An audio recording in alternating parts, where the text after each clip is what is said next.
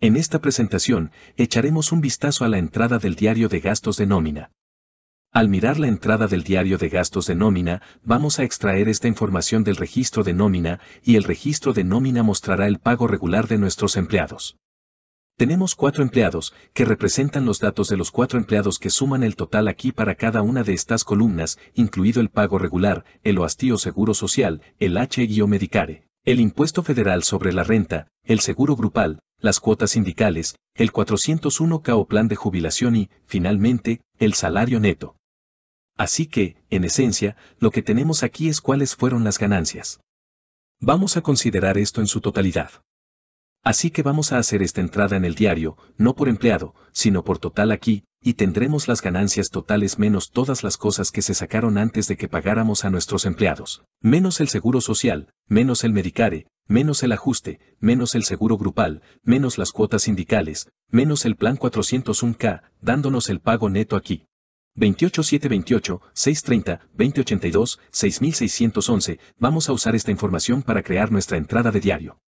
Y para hacer eso, si piensas en la entrada del diario, solo el seguro, el tipo más básico de entrada de diario para la nómina.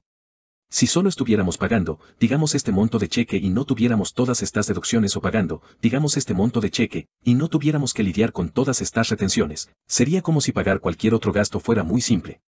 Así que probablemente quieras empezar. Empezaríamos por ahí, y pensaríamos a partir de ahí, es decir, ¿se ve afectado el efectivo? Sí, el efectivo está bajando o pagando en efectivo. El efectivo es un saldo deudor.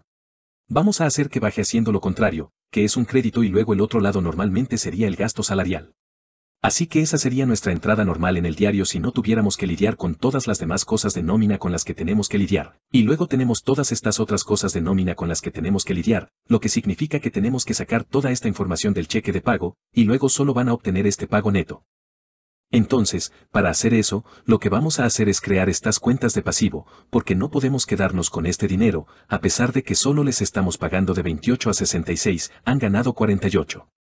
719, y lo que sea que no les paguemos es una responsabilidad para nosotros en algo que luego tendremos que pagar a alguien, típicamente, al gobierno. Así que vamos a poner estas cuentas de pasivos, una para OASDI, que es el Seguro Social, otra para II, que es Medicare. Estas dos son porciones del empleador. Es por eso que no los vemos aquí. Así que no van a estar en nuestro registro, y no van a salir del cheque de pago. Estarán en la entrada de nómina para los impuestos del empleador, pero tenemos el impuesto federal sobre la renta, el seguro grupal, las cuotas sindicales y la jubilación, así que eso es lo que sacaremos. Y esas son las cuentas que vamos a usar, muy útiles cuando hacemos una entrada en el diario de nómina, como cualquier entrada interna, pero especialmente para la nómina, para ver el plan de cuentas, y luego podemos ver qué cuentas vamos a usar para registrar estos pasivos. Por ejemplo, la cuenta podría tener impuestos sobre la nómina por pagar y agrupar todos estos, o podría desglosarlos de esta manera, es bueno dividirlos, porque entonces podemos ver exactamente para qué son los pasivos y luego asegurarnos de que estamos pagando a las personas correctas.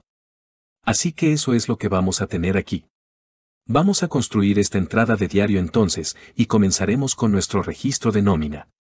Dijimos que el número inicial va a ser ese 48896, y eso va a ser los sueldos y salarios, y eso viene de aquí. Entonces vamos a poner todo esto. Básicamente, los estamos alineando desde nuestro registro hasta las entradas de nuestro diario, comenzando con OASDI o FICA OASDI. Eso será un lastre. Los pasivos tienen saldos acreedores. Vamos a hacer que suba haciéndole lo mismo otro crédito. Así que eso es 3031, 3031 luego el HI, aquí 708, responsabilidad.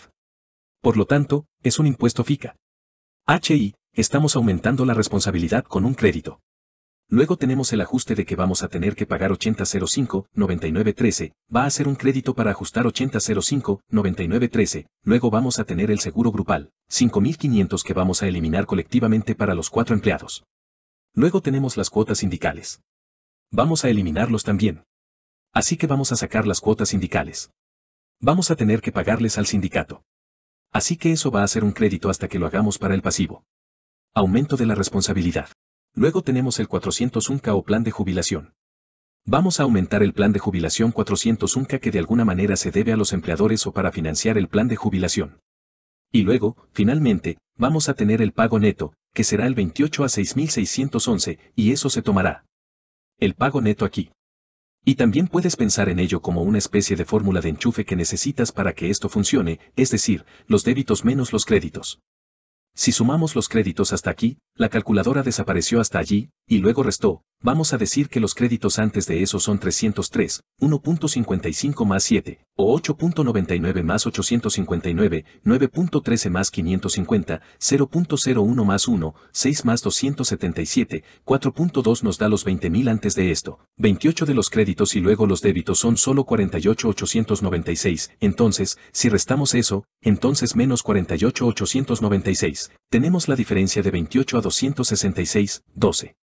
Es una diferencia de redondeo. Entonces, debido a que esto vino de Excel, está fuera por un centavo, pero está bien, vamos a estar bien con eso. Así que esa va a ser nuestra entrada en el diario, y este será el cheque que realmente se paga. Por supuesto, consiste en el pago de cuatro cheques. Tomamos el total aquí para ingresar estos datos en nuestro registro o ingresar a nuestro diario general. Ahora publiquemos esto en una hoja de trabajo y veamos cómo se vería. Este es nuestro balance de comprobación está en equilibrio. Podemos saberlo porque los débitos son iguales al crédito, por lo que los números positivos menos los números negativos son iguales a cero. Actualmente tenemos un ingreso neto de 500.000 que es este ingreso, sin gastos. Así que vamos a publicar esto. Luego están los sueldos y el gasto salarial. Aquí está el gasto de sueldos y salarios.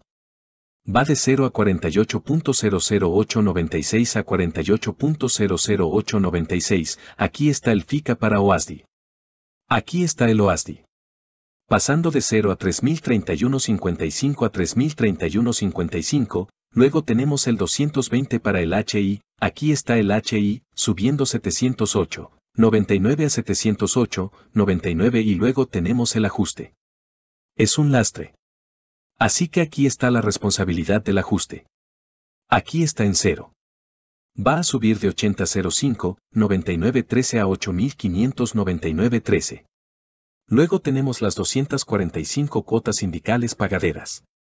Está subiendo de cero, subiendo o en realidad el seguro de grupo, o el seguro de grupo subiendo de cero, subiendo de 5.501 centavos a 5.500 y un centavo, luego tenemos las cuotas sindicales. Va a ir de 0 a 16 o 16. Finalmente, el plan de jubilación va de 0 para arriba en 2007, 7422 2007, 7420 y si vemos todo esto en el efectivo, por supuesto, arriba va de 600.000 abajo para el 28 a 66 el cheque, el cheque neto, a 571, 733, 89 ahora, si vemos todo esto junto, esta va a ser la diferencia que hicimos notar aquí que estos, por supuesto, son todas las obligaciones que luego vamos a tener que pagar. Así que solo sacamos esta cantidad de la cuenta corriente. Tuvimos un gasto de esta cantidad y la diferencia entonces son todas estas responsabilidades que luego tendremos que pagar en algún momento en el futuro. Obsérvese cómo esta entrada de diario refleja el registro, refleja el cálculo refleja lo que probablemente vea en su talón de pago en términos de sus salarios, menos el débito menos todos los créditos que se quitaron del cheque de pago. También hay que tener en cuenta que el efecto sobre los ingresos netos es solo de 48.00896 y sin incluir todas estas cuentas de pasivo de aquí. Estas son cuentas de pasivo. Esta es la única cuenta de gastos. Y nótese que estamos cambiando el ingreso neto, no por el cheque neto, no por el efectivo, sino por lo que se ganó.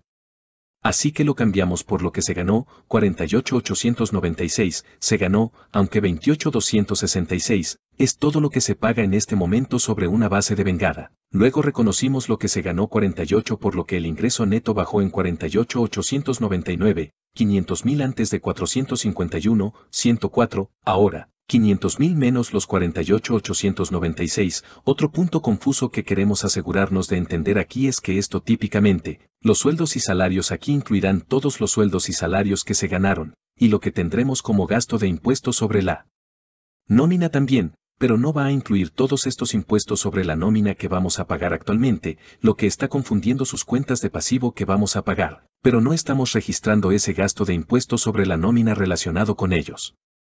¿Por qué? Porque estos no son nuestros impuestos sobre la nómina como empresa. No son cosas nuestras que estamos pagando de nuestra cuenta corriente. En teoría, están saliendo del cheque de los empleados. Se trata de empleados con cheques. Así que el gasto real es el ganancias de los empleados. Estas son las ganancias del empleado.